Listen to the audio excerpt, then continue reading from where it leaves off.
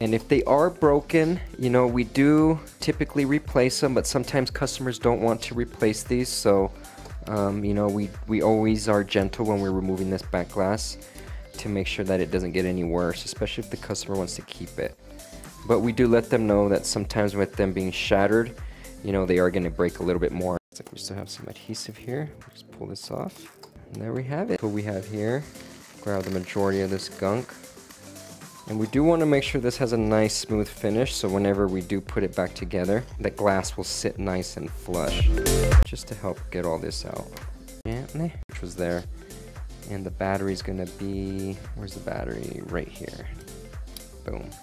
So here's your QI charger backplate and you have your battery right here. You guys follow the, you know, our instructions on how to do the glass replacements. Okay, so looks like we have these removed. There's a flex here. Let's get this flex removed. There you go. And look, that just came right up, jumped right up. And it looks like the audio speaker here is included, built into this backplate. So here's the charging port. So if you do need a charging port replaced, you'll have to replace this whole little cable assembly. All right, this actually all needs to be replaced. You can see how it's soldered right on top here. That's it. It looks loose. Let's see if we have a point here we can grab and just lift. So here we have her.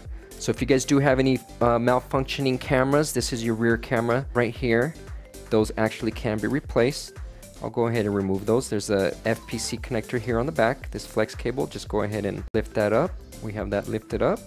And this one also has another two down below here. Your main, main monster cam. And you have your double stacked main board here. I'm gonna add a little bit of 99 ISO, just a thin little bead down here and right here. That just helps this soften the adhesive. And then we are gonna use our pry tool. Do wanna make sure I get right in between the frame and the battery. Just give it a little pry. Just a couple small little pries and you'll see that it just pops right out. Just like that. Doesn't require a lot of force guys, just nice and gentle, okay? But there we go. Battery add a little bit of alcohol. So that's gonna pretty much wrap up my Note 20 Ultra teardown video, guys. It's pretty basic, and I really do think you guys will be able to do it if you follow the technique